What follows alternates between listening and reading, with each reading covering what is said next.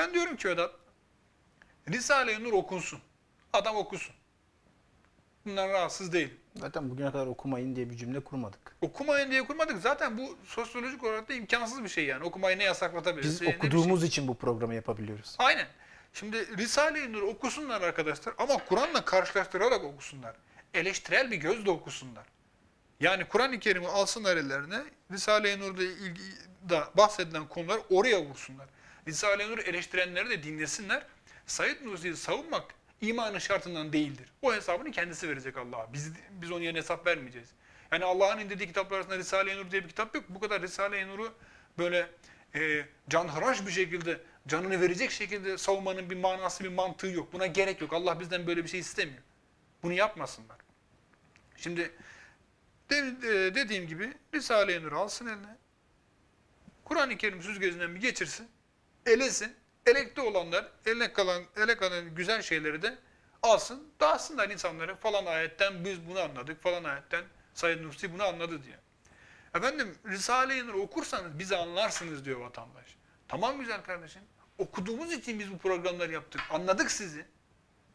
Anladık sizi. Siz diyorsunuz ki Hazreti Ali Risale-i Nur okuyordu. Mezarda Risale-i Nur okuyacağız. Risale-i Nur'u eleştirenler çarpıtılır. Hazreti Ali'ye sayfa verildi. Abdülkadir Geylani ol dediği olur. Bunları karşılaştır bakayım Kur'an-ı Kerim'le. Dayanağı var mı Kur'an'da? Aynen. Yani herhalde senin de benden söyleyeceğin farklı bir şey yoktur. Risale-i Nur'u Kur'an-ı Kerim'le okumak.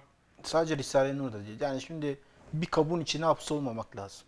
Bu bütün cemaatler için geçerli. Şimdi bu cemaatleşmede şöyle bir sıkıntı var. Bir kabuğun içine hapsoluyorsun ve bütün dünya senin oluyor artık. Ve e, farklı şimdi adam e, her şeyi her şeyini bir kaynak üzerinden tanıdığı için bir kaynak üzerinden tanıdığı için dışarıdaki e, yani farklı bir görüş olmadığını dışarıda adam diyor ki işte bugüne kadar hiçbir tenkit gelmedi. Nereden biliyorsun kardeşim? Araştırdın mı? Hiçbir tenkit gelmediğini nereden biliyorsun? O kendi kabuğunun içerisinden adam hiç dışarıya çıkmamış ki. Hiç etrafına dönüp şöyle bir bakmamış ki adam. Aynen. Bir araştır, e, oku, İmam Maturidi'yi oku. Bak sen madem ki ben e, şeyim, nurcuyum, ehli sünnetim diyorsun. Ehli sünnet imamı İmam Maturidi senin. Bak, oku bakalım. Ne kadar uyuyor bakalım Risale-i Nur'a. Bir oku. Kesinlikle haklısın Vedat. E, başka İbn Sina'yı oku, e, diğer şeyleri oku. Bak bakalım sadece bu e, vaad, ispat-ı vücut vesaire tarzı şeylere bir tek İctihad-ı Nüsüm yapmış. Bu bizim e, İslam il- ilim geleneğimizde bunların çok çok daha mükemmel olanları var yani. Evet. Yani dediğimiz gibi kimsenin eserlerini, çalışmalarını küçümsemiyoruz. Sadece Kur'an-ı Kerim ışığında gözden geçirin diyor. Olay sadece bu.